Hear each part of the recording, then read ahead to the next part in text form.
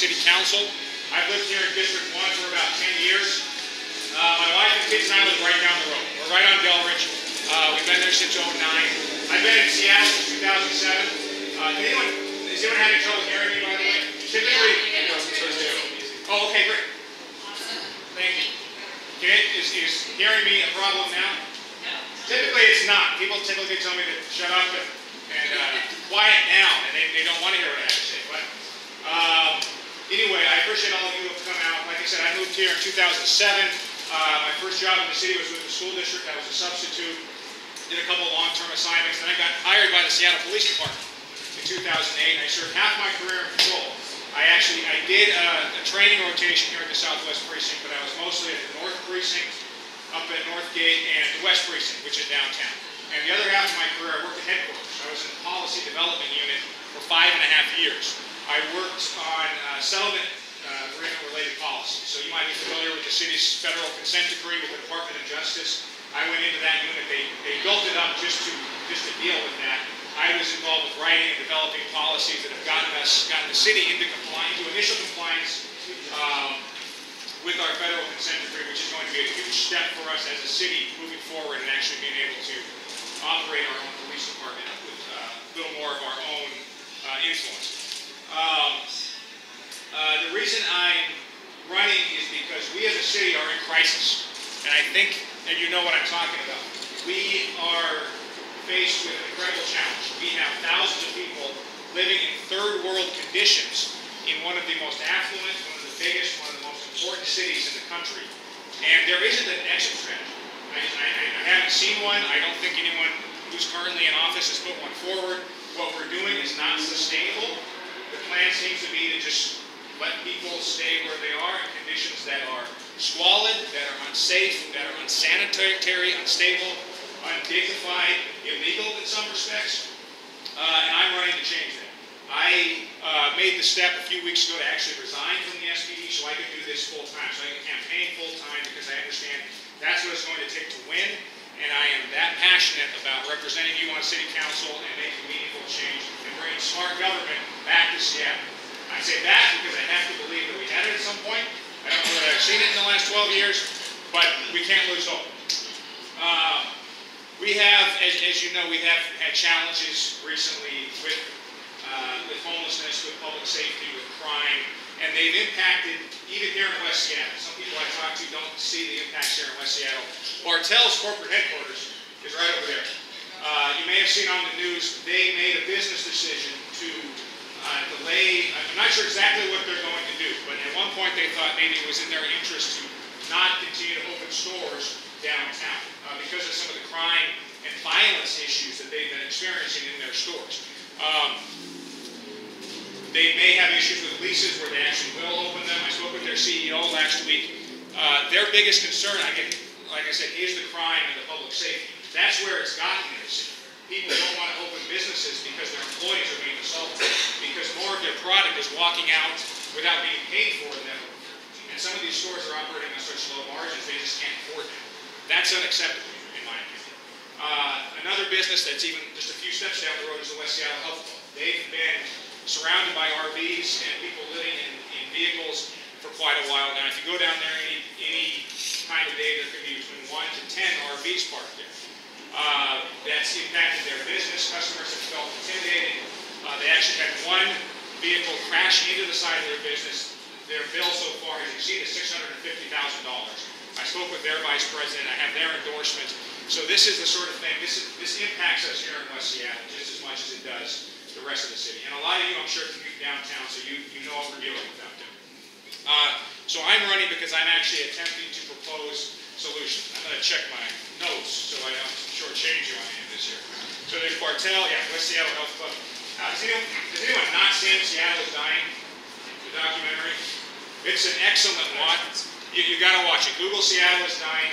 Um, people think maybe it's exaggerated, maybe it's extreme. I, I can tell you, the truth, it's not. It is accurate. What's depicted out there is, what's depicted in this documentary is happening. I've seen it. Uh, the, the quotes from the officers in terms of how they don't feel supported, how they feel handcuffed. I'm certain I know the people who said those quotes. I mean, this, this is real. Uh, What I would say is, although I appreciate the title, Seattle is dying, we may be dying, but we're not dead. We, we can bring ourselves back to life. With the right policies, with the right leadership, we will right this ship and we will continue. Um, thank you. I appreciate it. Thank you very much. Uh, there's also another report out there called System Failure. This one didn't get as much press, but I'd encourage you to Google it. System Failure by Scott Lindsay, L-I-N-D-S-A-Y. Scott's someone I've known for quite a long time. He worked at the mayor's office, I was across the street. We worked on a lot of policy projects. We're, we're that kind of exciting guy, right? We sit and talk about policy all the time. Uh, I hadn't talked to him in a while, so I had coffee with him a few, a few weeks ago.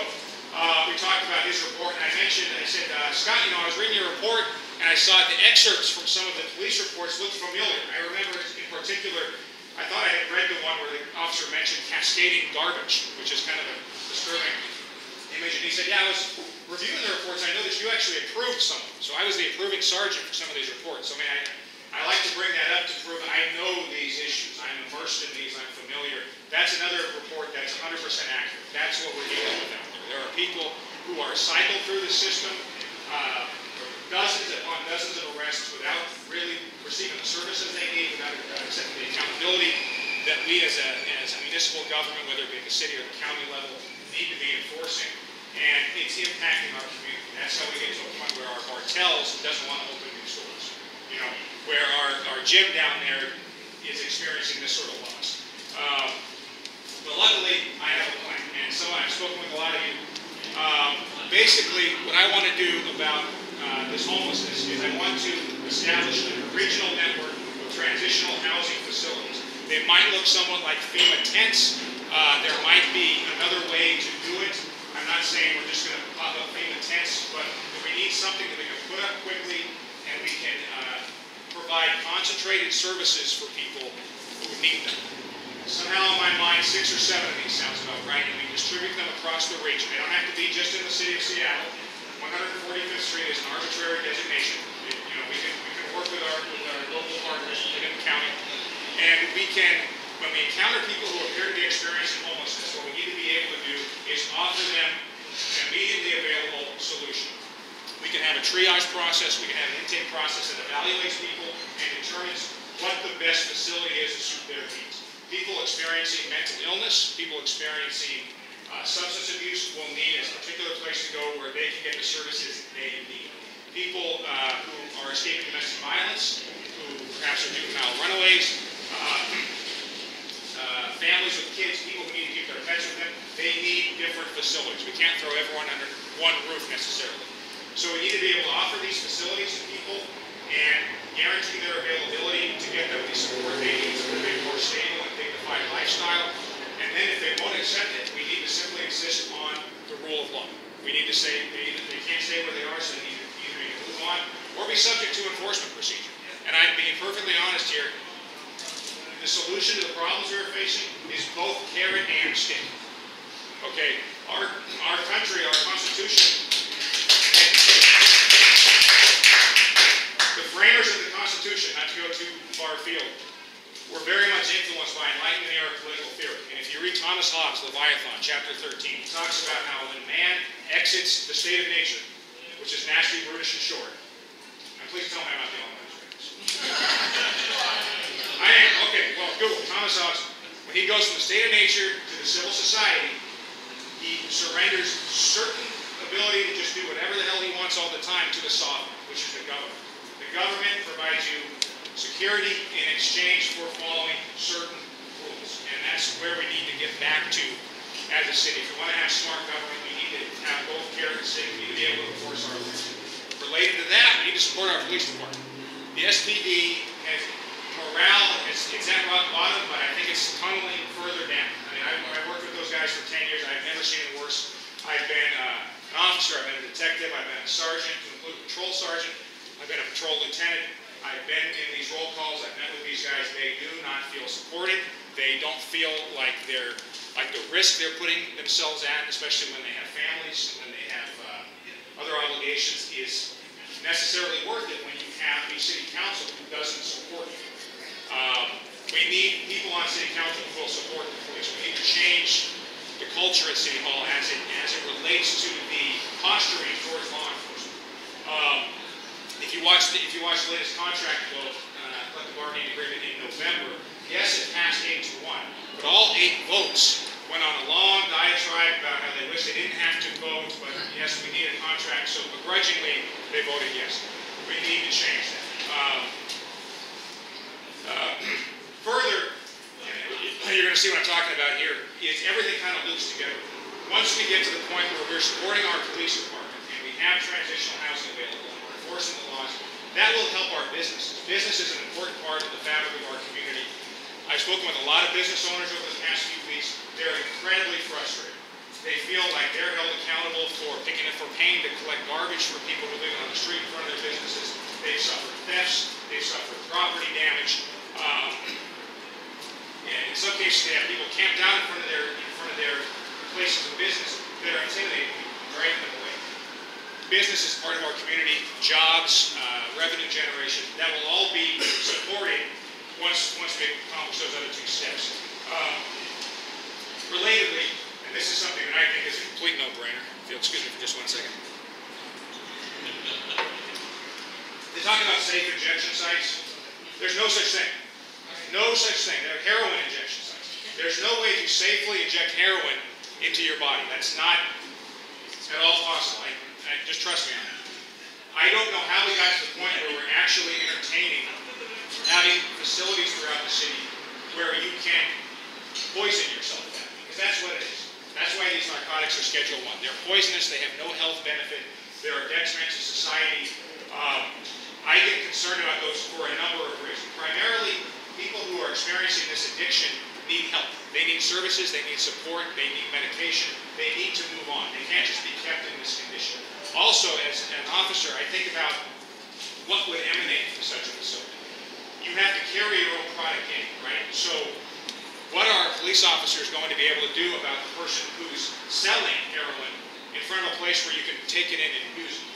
You know, I, I, I think lawlessness would emanate from that, and that would impact uh, not only the officers, it impact the culture of the city and impact the businesses. If your business happens, happens to be next to a heroin injection site, are you really going? Are people really going to want to go by patronize it? I, I don't believe so. So I'm very much against those facilities. Um, and I'm going to go now to some other things. Intentional development is important to me. We need to develop um, as a city, but we need to make sure we do so in a way that doesn't overtax our infrastructure. We need to make sure we're, we're smart about how we do things. Um, we shouldn't be letting our public transportation, our schools, our parks, our other services lag behind as we just keep adding people. That's not, that's not smart, that's not intentional, that's not fair to anyone.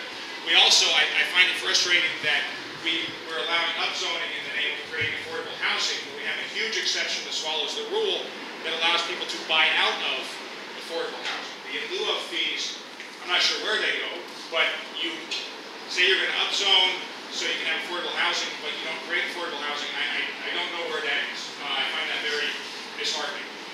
Uh, we need fiscal responsibility. This is something a lot of people have spoken with me about tonight.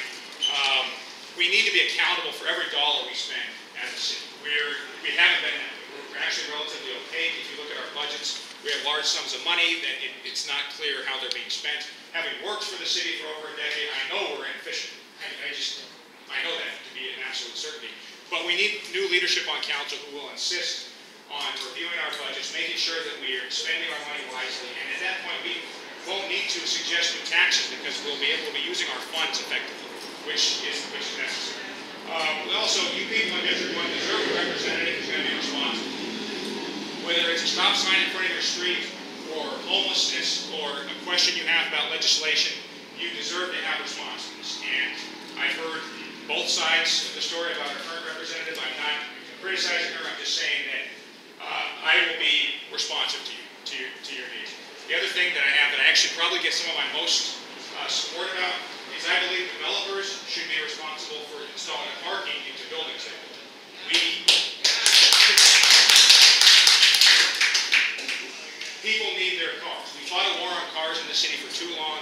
I took public transportation downtown for five and a half years, but I still own two cars because you can't make a Costco run without a car, right? You can't take your kids anywhere without a car, especially look at our, look what happened to the metro in Lake city. I mean, are you really gonna put your family at risk for that? No. So we need to we need to be even more accommodating to people who need to own vehicles in the city, and that starts with allowing them to park in their own home.